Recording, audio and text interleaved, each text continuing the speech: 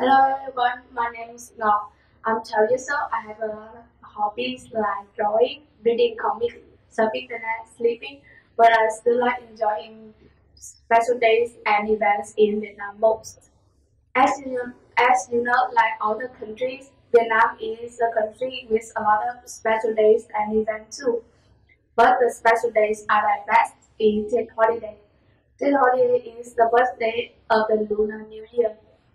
Yes, usually in February or January. Most people on this day, most people go to the temple to pray.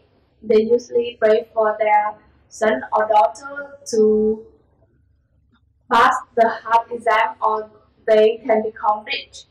And others go to their neighbors' houses to give the children lucky money and talk about the good things. On this day, some people like relaxing and enjoying their days by traveling to another country or city. On this day, people eat cake, day cake, jam, or candy. Some uh, people like it, but um, some people like it because they don't have to work on this day. However, um, some there are some of them don't like it because they have to spend their money on their children.